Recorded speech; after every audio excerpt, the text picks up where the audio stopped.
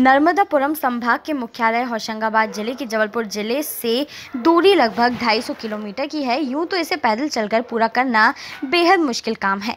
यह मुश्किल काम तब और बढ़ जाता है जब साथ में परिवार हो, सिर पर घर गृहस्थी का सामान ढोना पड़ रहा हो। खाने की कोई व्यवस्था ना हो और ठहरने के लिए कोई जगह ना हो। कुछ ऐसा ही हुआ उन श्रमिकों के साथ जो डिंडोरी ज़िले से मजदूरी करने के लिए होशंगाबाद गए थे।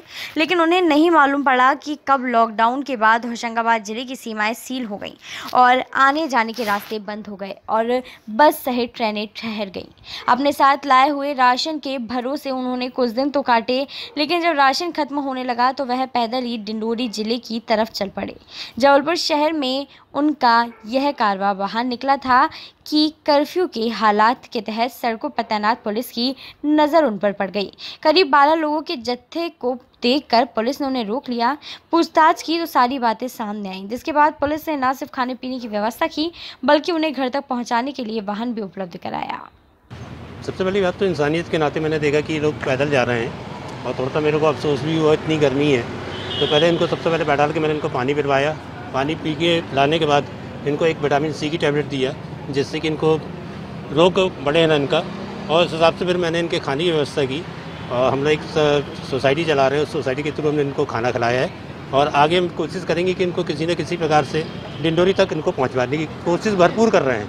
अभी जाके थाने में जाके इनकी बताते हैं समस्या कि इनको कैसे पहुँचाया जाए और कैसे समस्या का समाधान किया जाएगा। मैं मेरा नाम शैलेंद्र कुमार जैन। रांची थाना के चेकिंग पॉइंट पे मेरी ड्यूटी है। मेमोरी चौराहे पे।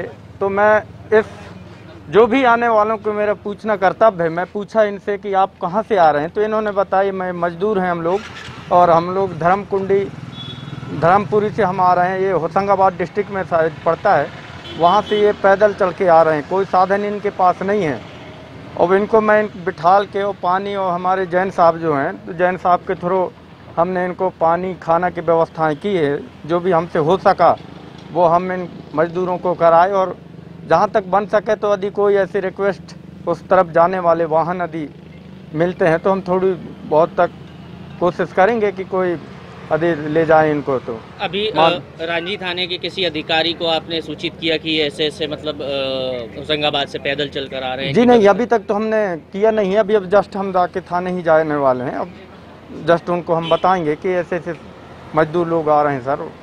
कहाँ जा रहे हैं ये डिंडोरी जा रहे हैं। नाम बता दीजिए। मेरा नाम प्रधान आरक्षक सुंदरलाल सयाम है। ब्यूरो रिपोर्ट खबर Madhya Pradesh. MD words Mangal Murti mica.